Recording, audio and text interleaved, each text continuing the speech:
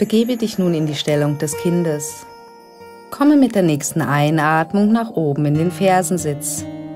Setze dein Gesäß zwischen deine Fersen.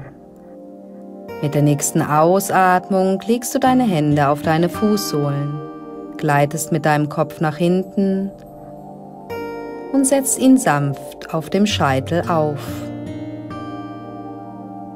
Es sollte kein Gewicht auf dem Kopf lasten. Po-Muskeln und Beckenboden sind kräftig angespannt. Atme tief.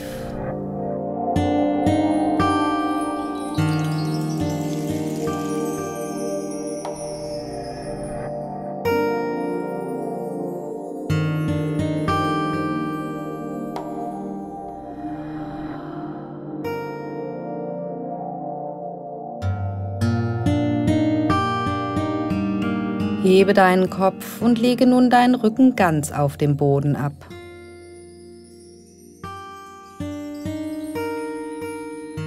Der Diamant Subda Vajrasana Spüre die Freiheit im Brustkorb. Subda Vajrasana entwickelt die rückbeugende Flexibilität und öffnet das Herz.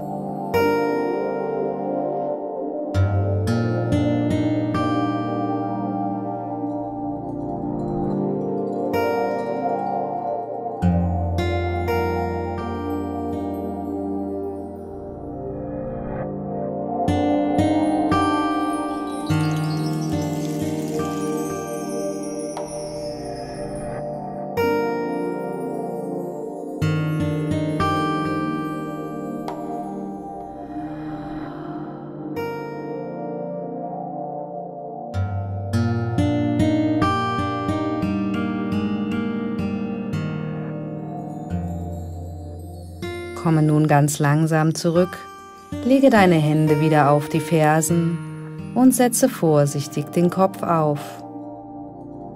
Nehme hier noch ein paar tiefe Atemzüge und gleite dann langsam zurück nach oben.